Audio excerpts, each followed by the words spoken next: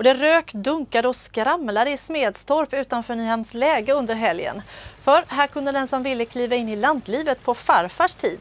Det var Kullabygdens lantbruksmuseum tillsammans med Kullabygdens veteran- och motorförening som för elfte året arrangerade en helg med fokus på hur lantlivet var förr.